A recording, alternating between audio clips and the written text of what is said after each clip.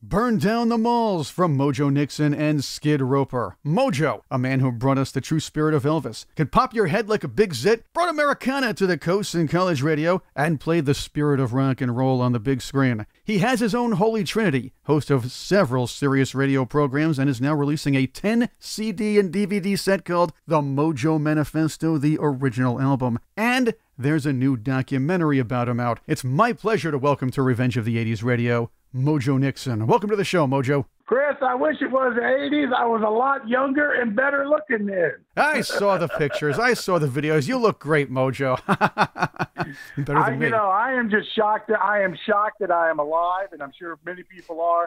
And people are people are even shocked. You made ten records. That's that's a whole lot of mojo. That's a heck of a lot of Mojo. And, and there are demos to boot in this box set, right?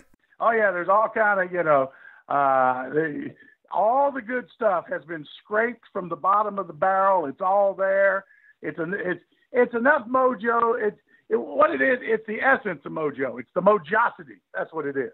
Yeah, I got that. As for the demos, though, there's it's always a it's they're always good to add a retrospective when you're pulling some of these uh, old tunes out and, uh, and and everything you've done. But there's something reassuring in the middle of worldwide turmoil to hear just you and one guitar doing "Free Man in the Morning." Well, you know, part of it is uh, a lot of times I would I would demo the songs first, uh, like uh, into a boombox at the house, just me and acoustic guitar, and then I would go in a in just like a little a little studio, maybe in San Diego or up in L.A., and we would do me and Skid would do a rough version of a song, you know that, and then we would do you know do all that before we actually made the album. So you know we'd already made it, you know, two or three times. Yeah, that that song "Free Man in the Morning." I was hoping that was going to be on the album Otis, but the uh, uh, for some reason it, it never. A lot of those same ideas that are in that song ended up in the song called "Tie My Pecker to My Leg." That uh, you can't play for your grandma. No, no, well, mine maybe, but Mojo Nixon's with me on Revenge of the 80s Radio. The new box set, the Mojo Manifesto, the original album collection is out. 10 albums filled with music, some shock value, and speaking the truth. A voice of the people, from those who want to be free to those who want barbecue sauce in their water slides. Yes, I am. I am. You know, I always saw my job. I saw myself as the court jester.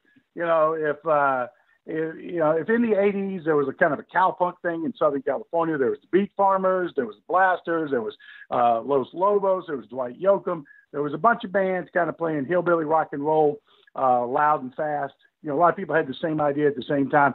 I'm going to take what I like about the Clash, I'm going to combine it with Chuck Berry and Hank Williams, and you know, I'm going to cause some trouble. So I always saw myself as the court jester of that group of bands, you know, because look, let, let's say I'm not the world's greatest singer, world's greatest songwriter, but I am completely and utterly full of it, and and and not afraid to spread it around. Mojo, you were. Let's put it this way your love of music and musical roots comes quite a bit from your dad's soul radio station when you were younger. Yeah, my dad ran a radio station in Danville, Virginia, where I grew up. It's right on the Virginia North Carolina border. It's a small, you know, AM daytime station, and uh, WILA Soul Radio, the black spot on your dial. And when I was a kid growing up, you know, I heard James Brown and Aretha Franklin and Sam and Dave and all, you know, and Otis Redding, and I and I still love that, you know, music to this day. One of the great things about it was when my at the radio station, uh, for some reason, this was probably 70 to 73, Warner Brothers was sending all their records to the re- to the black radio station. So all you know, the Randy Newman records, the uh, the Grateful Dead, all the artists that were on Warner Brothers back then, uh, Van Morrison, were showing up at the station. And so the guy that was the music director, I you know, I was like a teenager then. I said, hey, when those albums show up, just put them in a little pile over here to the side, and I'll come down once a month and get them. You know, and so I had like promotion copies of all kind of you know great albums. And he's like, he, he was like, well, should I tell him to stop sending? I go, no, don't tell him to stop sending. I'm getting these for free. yeah, that's the best kind of records, I'll tell you that. It was during a bicycle trip to, through the U.S. Now, listeners will learn this a lot more when they watch the Mojo Manifesto, the Life and Times of Mojo Nixon documentary. That's when you found your inner mojo and uh, had the epiphany to let him out. You know, Mojo on the road to New Orleans. I, you know, I'd, already, I'd been in bands. I, in 1982, me and two other guys rode bicycles from San Diego to Danville, Virginia, where I grew up, coast to coast. Uh, took about two and a half months. We rode about 80 miles a day. Uh, people would let us sleep in their yard, or uh, we slept in the jail. We slept in the churchyard. We slept, you know, in the, in the county park. Once people found out we were on an adventure, at first they were wary of us. You know, who are these guys riding into town? Or, you know, once they realized we weren't homeless guys and we were going to leave, they, you know, people helped us a lot, and we had a great time. and it was it's something I had always wanted to do, and uh, and so, but in New Orleans, while in New Orleans, is when I had the kind of the mojo revelation, which was I shouldn't try to be, you know, Mick Jagger or David Bowie, and uh, I should just be me. I should just play a little hillbilly boogie woogie and then start BSing over top of it. You know, I I should combine my love with for John Lee, my love of John Lee Hooker with my love, with, you know, for Roger Miller and Jerry Reed and I should just do what I do best instead of trying to be an English rock star. And it was so. And then when I got back from the bike trip, uh, I I played the first Mojo gigs, first you know, uh, and being you know turning going from Kirby McMillan to Mojo Nixon allowed me to do things I wouldn't have normally done. I'm I'm not Kirby McMillan pretending to be an old old black blues man. I'm Mojo Nixon from Bigfoot, Louisiana. Here we go.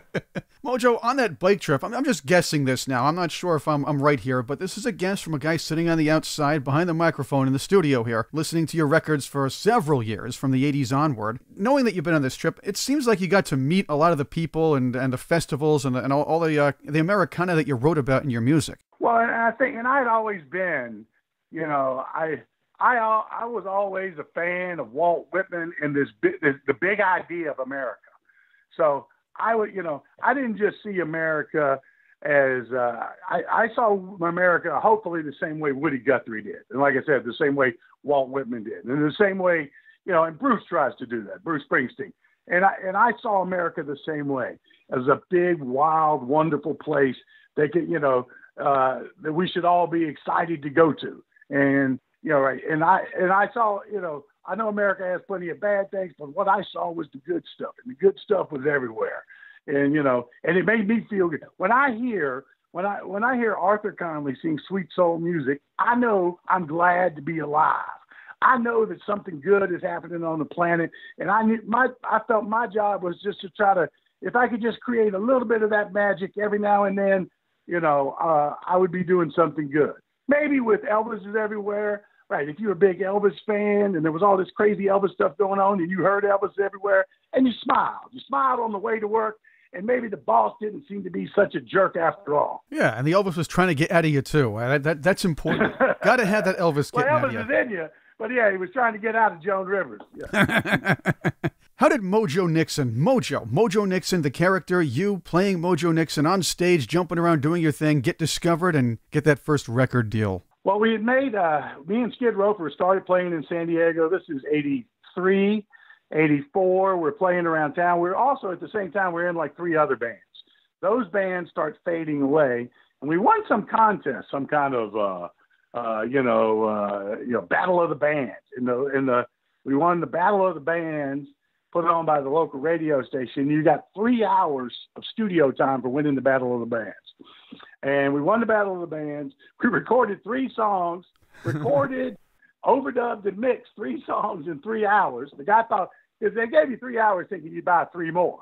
Oh no, man, we were broke back then. I was living on top ramen. I remember we were so broke. I used to go sneak in the neighbor's yard to steal their cherry tomatoes. That was my oh, Friday. That was special. If I could put cherry tomatoes on my top ramen on Friday night, woo wee! You need your veggies. So, it, yeah, but we uh, so we made a little demo tape, and then later I hooked up with Joey Harris. He was in the Beat Farmers. I went over to his house and we recorded what became the first album, thinking it would just be demos.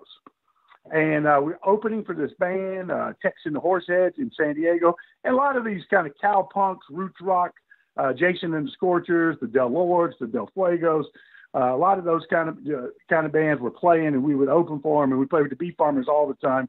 And uh, this guy, I, and I always had a cassette in my pocket, you know, in case, in case you know, in case David Geffen was walking in the door, I was ready. Here you go.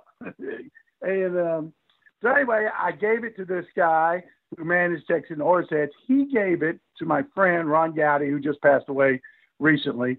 Ron calls me up and says, "Hey man, let's let's put this out." I go, "No, that's just demos." He goes, "Oh no, we can put this out.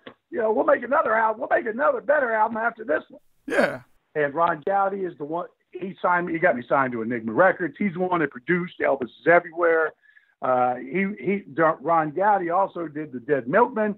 That's why I mentioned in the Dead Milkmen song because it was a Thanksgiving dinner uh, the Dead Milkmen were on the road. They had nowhere to go for Thanksgiving. They came to my house in San Diego, and uh, that's how I got mentioned. Being mentioned in Punk Rock Girl, yes, uh, by the Dead Milkmen was bigger than anything I ever did. Well, th- these stories should have Mojo Nixon. That's right. Yes, yes. but uh, so anyway, I got signed to Enigma Records. Enigma, you know, when you got big, big enough on Enigma, they moved you up to Capitol it was all it was all part of Capitol and EMI. Even we went to England. We were in like the big EMI building. We took some pictures there on the stairwell where the Beatles took those pictures. You know, there's like those before and after. There's the 62 Beatles and then the 68 Beatles with standing on the yeah. So we got to take we were you know it was unbelievable. We got to uh, go up to Capitol Records up in L.A. There at Hollywood and Vine. We uh, mixed our album up there. So yeah, I was I was in the middle of it. I was there, man. With me is Mojo Nixon. We're talking about his new box set, The Mojo Manifesto. Let's talk more about that and the documentary, The Mojo Manifesto The Life and Times of Mojo Nixon on Revenge of the 80s Radio. Destroy All Lawyers from Mojo Nixon's 1990 Otis album. With me is Mojo Nixon. He has a new career spanning box set, The Mojo Manifesto. Mojo, you got a lot of MTV airplay with Elvis is Everywhere, but you tell the story in the track Stuff in Martha's Muffin about how they wouldn't play you in Skid Roper, even though you were college radio staples with your first albums. You know, and uh, and after I did uh, Stuff in Martha's Muffin, uh, I did some promos for MTV. Mark Pellington, who later became a famous movie director, he was working there. Uh, he was working there at MTV doing the promos. Remember they did like Randy, Randy of the Redwoods. Yes, yes. They had other kind of odd. Like MTV had this idea: if we get kind of oddball weirdos, we'll appear to be hipper than we are, even though you know we're playing uh, Journey videos. so I, so then this was way. This was about the time the second or third album came out, and I, I made a list. I, they asked me if I wanted to do it. And I was like, no, Mojo doesn't sell out. And then I thought, well, the only way, you know, the only way a teenage girl in Iowa is ever going to hear about me is through MTV. I should do that. I should figure out a way to do this. So I made a list of 20 demands. They agreed to all of them.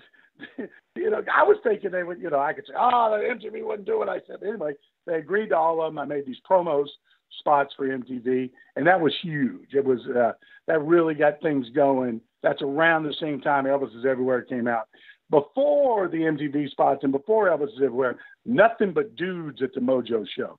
30, 32 dudes in some small college town in upstate New York. That was your typical Mojo show. And then we did Elvis is Everywhere, and they started playing it on. They played Burn Down the Malls, and they played uh, Elvis is Everywhere on 120 Minutes all the time. Uh, you know, g- girls started showing up at the shows. Now, mostly they were designated drivers. Oh, Their yeah. boyfriends would go and you know get, get drunk out of their minds, and the girls would drive them home. Do some gin guzzling, right? yes, yeah, they had to. You know, I always used to say, you know, uh, the girls would agree to come if the you know if the guy would go see some Jodie Foster movie. If the guy would agree to go to a Jodie Foster, the you know the one where she doesn't talk. If, if a guy would agree to go to that movie, then she would agree to come see Mojo. Well, we'd have to show up at those drunk, I suppose. So you know how that works. Well, yeah, I we lots of times, man, we would have you know fans, super fans, would get too excited, too drunk, and they would be thrown out before we even played. And like we'd be coming in the back door, you know, uh, you know, to the dressing room, and they'd be like crying, Mojo, I got too much, Mojo can't get me in. So, we were once, I can't remember the place, but we were opening for the Pogues. Uh, we were opening for the Pogues, and it was, uh, I think, the living room in, uh, was in in New Haven, maybe or somewhere. It was in Connecticut, or Rhode Island. Anyway, some guy got thrown out. He climbed up a brick wall like Spider Man, and there was like a, a window that had like one of those, you know, uh, tram things that opened, you know, slid open. Anyway, we're sitting backstage with the Pogues manager, and this guy just comes oozing through the window like a cat burglar and falls 10 feet onto his head. And, and he jumps up and he goes, Which way's the stage? And just runs out of the room. that was a real Mojo fan there. you came to my area with that Pogues tour too. Uh, I live in the Hudson Valley and lived there back then too. By the way, that tour inspired the track Shane's Dentist. I imagine that was one wild road trip with those guys. Oh, it was, you know, we did two tours with the Pogues. The first time it was just us and the Pogues uh, playing medium sized joints. The second time it was us, the Pogues, and the Violent Femmes playing, you know, huge outdoor sheds. And uh, in fact, I was just on the Outlaw Country Cruise. That's a channel I'm on on Sirius XM, channel 60, Hillbilly Rock and Roll. And uh, Cait, the original bass player for the Pogues, was on the cruise. I got her to sing Shane's Dentist with me. And Shane's Dentist is a is it goes, Shane's Dentist don't work too hard, always at the pub. Shane says he ain't coming back to they're down to a nub. That's it. It just repeats that over and over. and I played it for I played it for Shane, and then he just he smiled, showed me his teeth, and that you know it, it was terrifying. Mojo Nixon with me on Revenge of the 80s Radio. On to MTV. You were a casualty of MTV censorship with Debbie Gibson is pregnant with my two headed love child, and you've always been kind of uh, an activist when it came to music censorship. Well, and I, you know, I, I wrote that song, I Ain't Gonna Piss in No Jar, and I wrote Burn Down the Malls, and I Hate Banks and Destroy All Lawyers.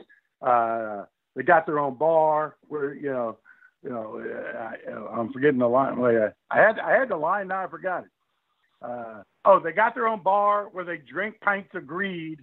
Let's spay and neuter them so they can't breathe.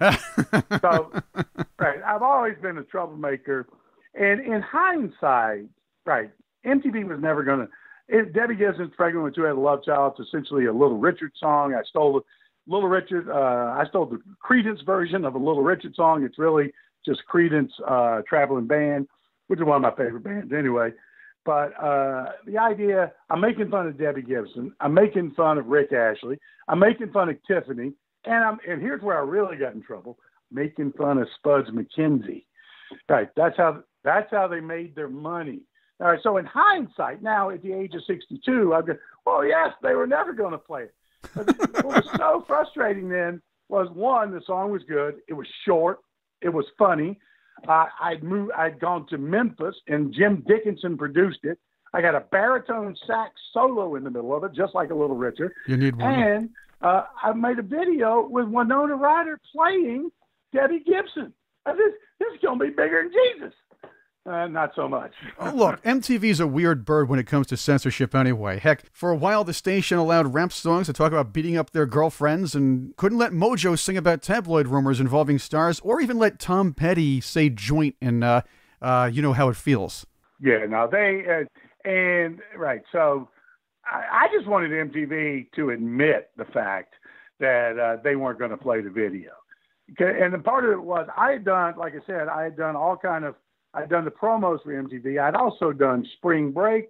I'd done Super Bowl. I had done uh, Mardi Gras, and I'd done a bunch. Of, I did a bunch of uh, pilots. You know, where they were moving into TV shows. Part of the thing was the original VJs they had on MTV. They were very good at reading. You know, reading what was written on the cards. Uh, but at a live event, uh, you know, there was not you, you couldn't write. They needed somebody who was adept at the art of extemporaneous pontification or BS, you know. And so that's why I was good at the live event. You need me to fill two minutes? There ain't gonna be no problem. There you go. yeah, right. So, but anyway, so MTV, I thought because I'd done all these things for them that you know that I and and I, I got paid or a little bit, but it was you know I really did it thinking I'll do this for them. They'll play my video. Uh, not so much. In fact, uh, you know, 619-239 King uh, from that same album got played, you know, got played a ton on VH1. Uh, Kris Kristofferson is in the video. I showed it to my mom. She goes, "That's not Kris. Kris Kristofferson is a big movie star. He's you know, having an affair with Barbra Streisand. He ain't gonna be in your raggedy ass video." but he was. he was. yep, they're gonna eat them words, right? That's what I can. That's that's all I can tell you. Oh yeah. Mojo Nixon with me on Revenge of the '80s Radio. You also tackled in your in your music, in, in your way, the Mojo way, freedom issues, uh, legalization of marijuana. You even made appearances for Kinky Friedman when he ran for Texas governor. That guy's a smart guy. I used to listen to him on Imus every once in a while, and uh, very smart fellow. Well, and at some point, you know, uh, uh, me and Kinky, I I had a movie deal. This that's how bad. That's how bad things got. I had a movie deal. Hell, Pauly, but you know, Pauly Shore made five movies, so I can get a movie deal. Yeah, right? gotta have anyway. Uh, I had a movie deal, and I hired Kinky to. Uh, I had Kinky to write the screenplay, and let's just say, uh, you know, you know that bumper sticker. My other car went up my nose. Well, in, in our case, the, the movie screenplay went up our nose, but we became friends and you know, this is in the '80s. Kids today don't don't do that. But we, uh, me and Kinky became friends, and Kinky at one point there was a four-way race in uh, Texas. Kinky had 27% in a four-way race. Well, in a four-way race, you can win with 27%. Yes, you, you know, can. Everything goes your way. So, and he, Kinky had, I'd gone down there to interview him for Outlaw Country, and he said something like, you know, Mojo, when I get elected, I'm going to need good people like you to surround me, maybe you could be my, you know, maybe, maybe you could be my spokesman. I said, oh, you mean you're minister of disinformation? Yeah. He goes, yeah, that sounds good.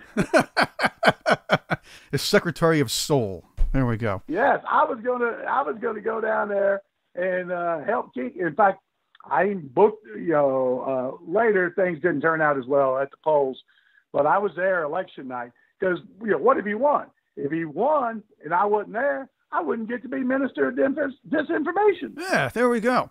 Mojo Nixon with me on Revenge of the 80s Radio, and perhaps the political world also followed you in other ways, Mojo. In the Otis album, one song was titled Put a Sex Machine in the White House. Listen to the lyrics, makes sense. But what happens? 1992, Bill Clinton gets elected. They listen to you, Mojo. You know, yeah. Uh, before we, uh, before Bill Clinton, those guys weren't very sexy. No, no, Dan Quayle. uh, well, uh, but you know, Bill. Uh, one of the things, one of the things that uh, you know I was doing there was I just I was trying to do like a James Brown song, and uh, but you know I'm a hillbilly from Danville, Virginia, so it's kind of you know it's kind of idiot James Brown, but he makes you it makes you get funky, makes you want to get on the good foot. Mojo, I bought the album Otis. I was doing college radio at the time, and I'm listening to it. I didn't read the liner notes as of yet. I just stick it on the record player and start playing. I like it. I do it that way. I'm hearing familiar sounds. I hear Mojo, obviously, but I can hear, I guess, a style of bass that I recognize from listening to punk all these years, too. And I'm thinking, I better check this out. I read the liner notes, and I find out it was John Doe on bass. You can hear the John Doe bass, especially in Don Henley Must Die. And I find out you put this really, this, this excellent supergroup together together for the Otis album? Well, you know, me and John Doe are in that movie, Great Balls of Fire. That's where I met one Winona Ryder. And so, you know, when you're in a movie, you're together, you know, you work six days a week, 12 hours a day. And then, you know, I know stuff about John Doe, Exene don't know. So I was able to get him. I was able to get, yeah, John Doe playing bass, John Doe from X playing bass, I had Country Dick Montana from the Beat Farmers. I had just got done with uh, throat surgery. He's playing drums. I had uh, Bill Davis from Dash Rip Rock playing guitar, and I also had uh, Eric Roscoe Ambel from the Del Lords playing guitar, and then Jim Dickinson producing, and he's probably playing keyboards on most everything, and Jim Spake, uh, noted Memphis saxophone player, he's playing on most everything too. And we recorded at Chips Moman's Three Alarm Studio right off of Beale Street there in Memphis, and we had a huge budget. Uh, it was go- that record was going to be huge. There's, there's a lot, a lot of Mojo story. That record was going to be huge till Enigma Records went out of business, not promoting Mojo, but David Cassidy. They spent their last million dollars on some David fool David Cassidy comeback when they should have spent it on me. And in fact, we were going to make the song "I Want to Race Bigfoot Trucks," the original Bigfoot truck from St. Louis, Missouri. We were going to get. I was going to get to drive it. I was going to get the question. And you didn't get to drive. We were going to shoot a video. Huh. You know, and and if you listen, you know, if if, if you listen, I want to race Bigfoot trucks and destroy all lawyers. You say maybe Mojo been listening to a little too much Bruce. One one of the things one of the things that Skid Roper said that was true.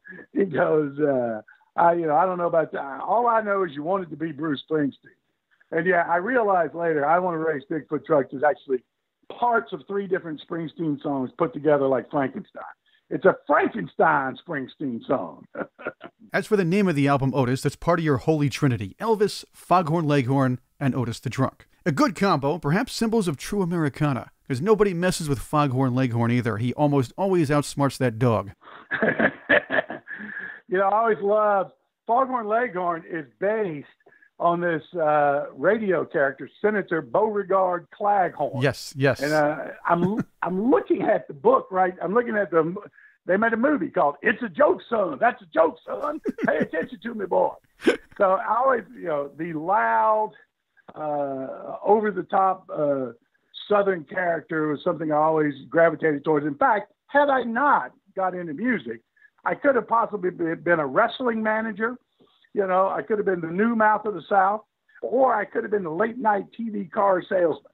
You know, I could have sold, you know, I could have sold Buicks at 4 a.m. yeah, buy my car, or else I'll eat a light bulb or something like that. There we go. you know, there was a guy, Madman Dapper Dan. I'd give him away, but my wife won't let me. After that, you uh, put together the Toadliquors and and recorded one of the better Christmas albums actually over the years too. And a lot of the silly stuff, a lot of the great Mojo stuff in there. But really, musically, excellent covers of Mr. Grinch and Boogie Woogie Santa Claus among the group. Well, you know, the Toadliquors were a band uh, down in Austin, and their their uh, their guitar player quit, so I was able to you know just bring them in all whole. And I'd wanted to uh, I'd wanted to form a band, you know, because part of the problem with me and Skid was it was just a duo, and two, I was sitting down. I wanted to stand up. Paul Westerberg was standing up. Los Lobos was standing up. Dwight Yoakam standing up. Mojo was stand up too. And um, so yeah, and I we we record we recorded that out that album, the Christmas album. When I hear it now, I get drunk and high just hearing it. That's that's how good it is.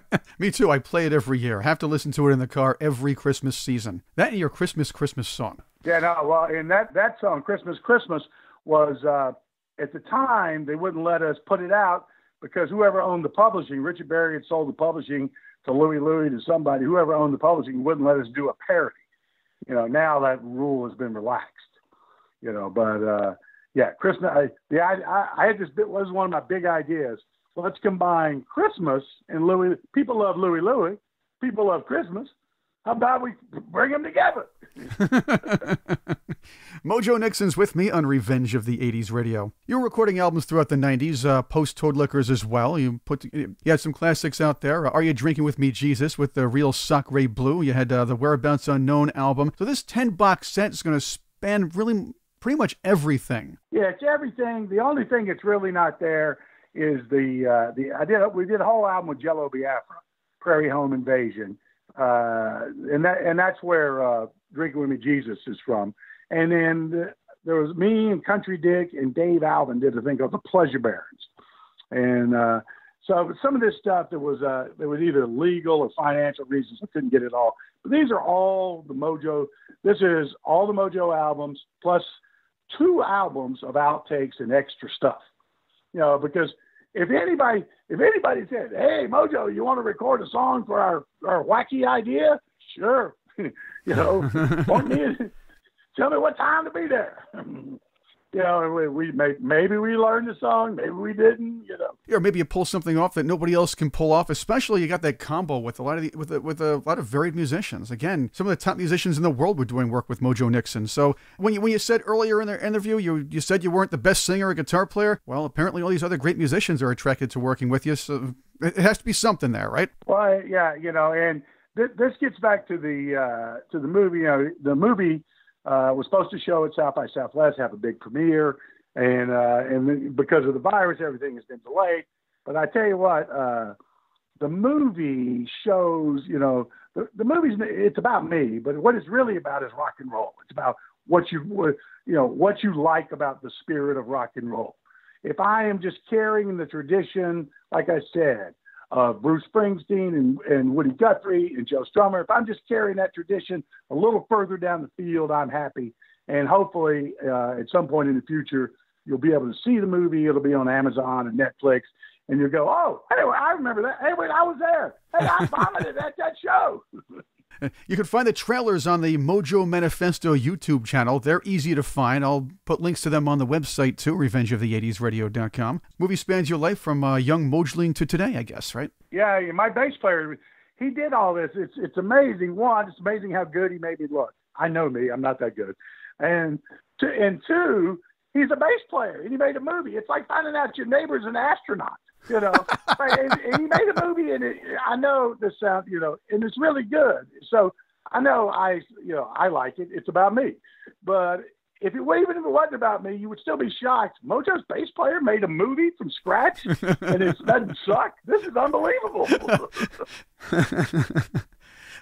I do want to add you did retire from recording and touring in the mid 2000s, save for some one offs, but you're a DJ now on Sirius XM radio, prominently with Outlaw Country. I'm not a fan of that crossover pop country. That's not real country. This is Outlaw Country, right? Yeah, no, this is, you know, in the tradition of Hank Williams and George Jones and Johnny Cash and Waylon and Willie. This is country with an attitude. This is Joe Ely. He's the perfect artist for the, you know, this is Steve Earle and Lucinda Williams. You know that uh, that picture of Johnny Cash giving the finger? That's what we are. It's right. It's it, so some songs are too too rock and roll for country music, and some songs are too country for rock and roll music. We play them all. We play them all, and they a lot of times they have a very independent attitude. don't want the man telling them what to do. Right. This isn't suit country or, or law abiding country. This is outlaw country. Right. And, you know, it's right. It's not safe, boring, vacuuming, you know, Barbara Mandrell country. Some people complain, you know, that it's, it's that I go a little too far, but hey, that's my job. yeah. If I don't make if I don't make some straight people uneasy, I ain't doing shit. Wait, I can't say that on the radio. that's right. You'd be doing pop radio if you want to be boring and just read a card and go to the next song. That's not that's not real DJing. We only have a short amount of time, Mojo, and there's so much to cover. I want to thank you for coming on with me here on Revenge of the 80s Radio. Chris, thanks a lot, you know, for uh, for having me. And uh, you know, if you're if you're a Mojo holic, if you're a Mojo night, the Mojo box set makes a perfect Christmas gift. Go ahead and give it to yourself now. And once again, the 10 CD DVD box set, The Mojo Manifesto, is available. Get it on Amazon. We have a link to it on our website, revengeofthe80sradio.com. Coming soon, be on the lookout for The Mojo Manifesto, The Life and Times of Mojo Nixon, the movie. Didn't premiere at South by Southwest because South by Southwest didn't happen. The pandemic. That's the only thing that could stop Mojo, the pandemic, I guess. Uh, I didn't think it would. Well, we tried, we tried, we tried our hardest to try to set something else up but yes, we've been defeated by the virus, but we shall return. Like MacArthur, we shall return bigger, better, crazier than ever. Hey, Chris, thanks a lot for having me, man. Thank you, too. Let's play a track from the new box set and from the album Gadzooks, the homemade bootleg. Are You Drinking with Me Jesus?